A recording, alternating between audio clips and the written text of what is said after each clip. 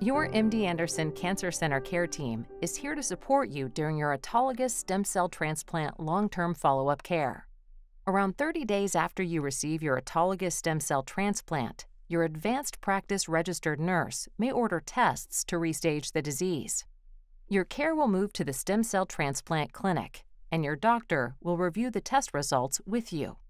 Your doctor will decide when you can return home for local follow up care and review how to manage your ongoing health care.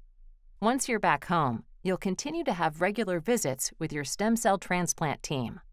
If you ever need a blood transfusion at another hospital, be sure to tell the doctor or nurse caring for you that all of your blood products need to be irradiated, which means they are exposed to radiation.